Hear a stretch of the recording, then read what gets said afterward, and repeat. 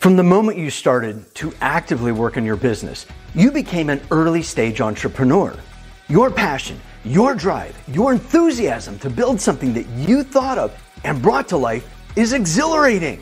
So, if it's so exhilarating, why do you feel exhausted, lethargic, unable to focus, and possibly even sick more often than usual?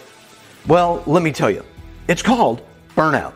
And the weird thing is, burning out doesn't have to be the enemy. Burnout is a wake up call and can actually be good for you. That's right, burnout is good for you because it's a warning sign that something you're doing or not doing needs to change before it compromises your physical wellness and ability to continue doing what you love.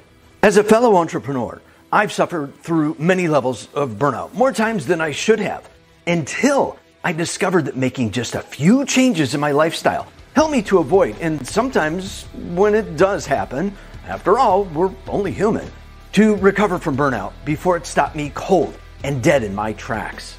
This course is designed to help you establish foundational lifelong habits to support your physical health and wellness without asking you to stop doing what you're doing. The actionable techniques you'll be asked to perform in this course are to establish a consistent regular exercise routine, learn more about what you're eating by monitoring and improving your nutritional intake, monitoring and establishing the optimal amount of adequate sleep that works best for you.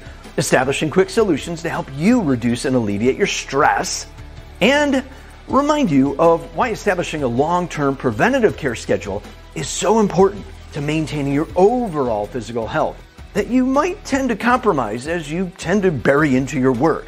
That means you need to have a work life balance. To make these changes a permanent part of your life, you need to commit to taking action by completing what I call personal responsibility activity projects, or PRAPs for short. These are designed to help you find out what works best for you to avoid, reduce, or recover from burnout as an early stage entrepreneur.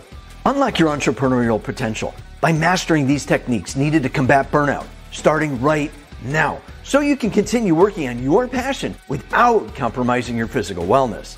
Remember, burnout isn't the end, it's the beginning of something incredible. So get started right now and stop burnout cold in its tracks before it does the same to you.